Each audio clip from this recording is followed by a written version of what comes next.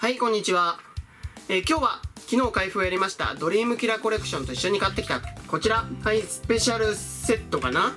スペシャルパック。ジガルでスペシャルセット。これの開封をねやっていきたいと思います。では早速開けていきましょう。一応4つ購入をしてるんですが今回動画ではね残念なことに1個しか開けないですよ。はい開きました。はい。はいえー、裏の台紙はパーフェクトフォルムのジガルデが書いてございます。はい。はいではまず、えー入ってるものから。はい米国のパックが1個爆熱のパックが1個そしてドリームキラーコレクションが1個。それからジガルデのオートと10%フォルムと50%フォルムの限定プロモカードですね。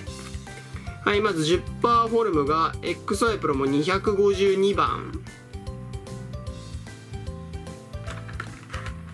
で50%フォルムが251番。逆か？合ってるか。251番。はい。の2枚ですね。はい。このスペシャルパック限定のプロモカードになっております。えでは3つ。開けて一気に開けていきたいと思います。さあいつもの流れでこのスペシャルパックはいいカードがね来やすいっていうのがあるから。ではドリームは最後に取っといてまずはじゃあ冷酷からいきましょう。じゃがーん。モンジャラミドリーノモノズマレルリマタッコおい。おい来てないじゃないか。はいじゃあ、えー爆熱いきます。はい。ややこま。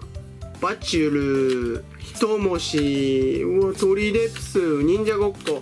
おーい全然じゃん。で最後ドリームキラー。持ってないの来いよ。イベルタル。ジラッチ。アルセウス。そしてケルディオ。はあはあはい。えー、っとちょっと駆け足になっちゃった。ザザッと。スペシャルパック、えージガルでスペシャルセットを開封をやりましたがいいカード来なかったですね。